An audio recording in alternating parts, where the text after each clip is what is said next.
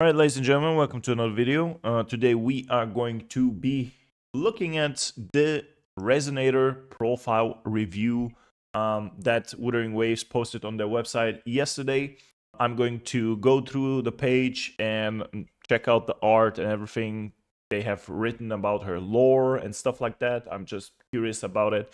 If you do not want to see any spoilers or anything, I'm just gonna drop the link to this page below so you can just go straight to the page and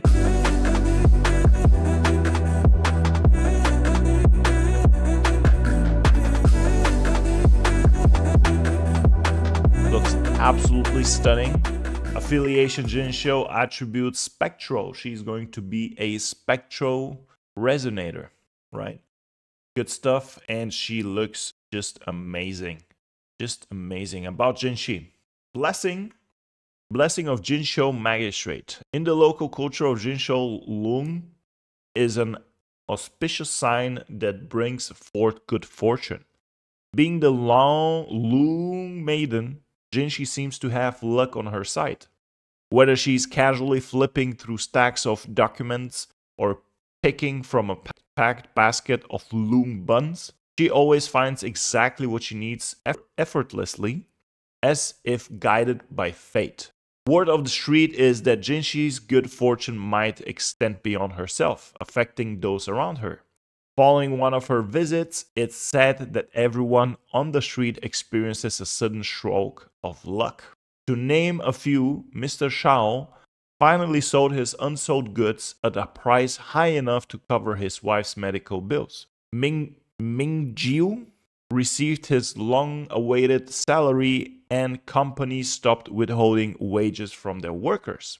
The fortune's favor to Jinhsi thus inspires many to make wishes and the pond outside City Hall, yearning for a share in her luck. In response to those hopes, she delightfully continues her duties, confident that her blessing will reach every resident of Jinzhou. Refreshing moments. Whenever snowflakes fall on Jinhsi's eyelashes, fatigue following a sense of itch catches her. As the ancient saying goes, Loong ascends to the sky at the spring equinox and lurks in the water at the autumn equinox. I didn't understand anything, but okay. For the Loong Maiden, winter should be her time to curl up in a warm blanket and indulge in a cozy sleep. However, the people of Jinzhou are otherwise busy in winter, marking both the end and uh, at the end of the year and the time of harvest. Winter holds great significance for them. To better serve her people in this bustling time, Jinhsi would have the kitchen prepare some Loong buns filled with perilla and mint to perk her up right up with its fresh fragrance and sharp taste. When this fails to dispel the fatigue, she would open the window to immerse herself in the bright lights of the street and the laughter of people that flew into the courtyard with dancing snowflakes. There's nothing quite like joyful for Jinzhou's people to rejuvenate her spirits. Signs of shyness. She shares a resonance connection with the Sentinel Jew, Jui maybe, causing her to adopt some of the Sentinel's appearance when using her powers. When she uses the ability to control time or synchronizes with the Sentinel, a pair of long horns pr- uh, protrude from her head. Under the tr- strains of uh, excessive use of power or severe injury, her skin grows long scales. Yet, in recent events, she discovered that even moments of shyness can evoke these features, a rare occurrence that startled her. As the Jinzhou magistrate, Jinhsi maintains calm and dign- dignified demeanor, accepting whatever comes her way.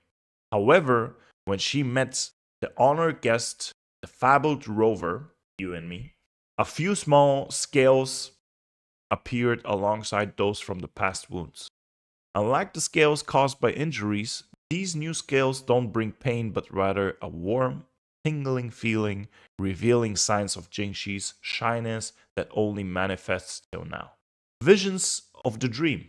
The Sentinel's Jui, the Sentinel Jui, or Ju, possesses the, the gift of prophecy, and that grants Jinhsi the spiritual ability to receive visions in her dreams. Amidst uh, a harrowing peril, she found herself caught in a vague hallucination where a strange yet familiar figure appeared, offering her a sense of relief and comfort. Following this present, she managed to um, extricate herself from danger, regained her composure, and gathered all her strength to rush to the appointment she had promised three days ago. Bathing in the gentle glow of moonlight, the person from her dream arrived at the venue with firm strides. It was the rover. Every time she recalls their encounter, Jinhsi feels itchy behind her ears. Maybe she's growing small scales again.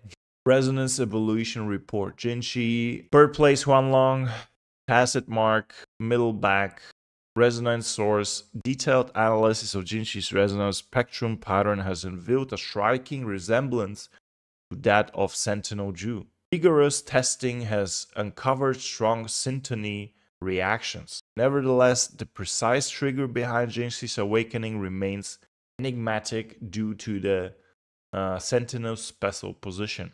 Overclock diagnostics report. Resonant criticality extremely high. Resonator's Jinhsi frequency displays high stability it is uh, almost certain that she bears no risk of overclocking. Current diagnosis routine examinations are recommended, while phys- uh, psychological counseling is currently deemed unnecessary. All right, a little bit more art and appearance. Leader of Jinzhou. Dignified and poised, Jinhsi always wears a gentle smile. She demonstrates absolutely emotional control and handles everything in stride. Untainted purity. Jinhsi's long hair is styled into delicate twin ponytails, uh, complemented by sharply tailored garments uh, adorned in an exquisite white. Her bright gaze shines with an uncommon purity. Horns of Loong. This is what was written a little bit above. When Jinhsi uses her Forte a pair of long horns, long horns appear on her forehead and she's enveloped by a radiant glow. These manifestations suggest her profound connection with the Sentinel. Damn. Anecdotes. Cherished item. Loong buns. Look at them. Yummy. A plate of Loong buns made by Jinhsi herself, each adopting a pink hue and a sprinkling of osmotum, osmanthus powdered sugar. Each long bun has a unique filling custard, lotus seed paste, or sweet bean paste. Our honored guest awaits just beyond the threshold. I wonder which flavor will tick the box. Jinhsi's ideals. People prayed to the sentinel not out of weakness, but because they had no other resource. As leader, I will guide my peoples towards a future where humanity takes control of our own destiny. Jinhsi's story, the snow of mountain firmament, I still vaguely remember how the snowflakes there danced in their own uh, whimsical ways. One moment they were hovering in the air, and the next moment they flew upwards into the sky, twirling around the tree branches. Not before long, everything was coated in a shimmering blanket of white. In Jinzhou, Snow brings a sense of peaceful togetherness. Strangers become friends as they brush off each other's shoulders and build snowmen together. Whether the snow is light or heavy, I pray to always protect these precious moments of pure tranquility. I am. They, they write pretty beautiful stories. But the bustling city of Jinzhou is a product of every blooming flower, sturdy brickwork, and occupied home. With every new visitor, the city gains new life. Among them, you are truly one of a kind. No, I'm not simply repeating what our sentinel has said. These words come from my heart as well. Standby pose. Let me make this a little bit smaller. Yeah, we'll see that in a couple of days. Character menu. They're just pretty much revealing almost everything. Convene animation. Ooh, damn, this looks cool. I wish I'll get this.